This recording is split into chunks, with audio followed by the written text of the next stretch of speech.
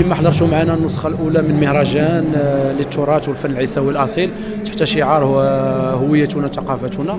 المدعم من طرف جامعة الدار البيضاء وبتنسيق وشراكة مع مقاطعة السيد البرنوسي الحمد لله النسخة الأولى دازت بخير وعلى خير بمشاركة فرق فولكلورية على صعيد الجهة. وكنتمنوا أننا السنة المقبلة أنها نديروها على آه، على الصعيد الوطني ومن بعد لما لا على إفريقي.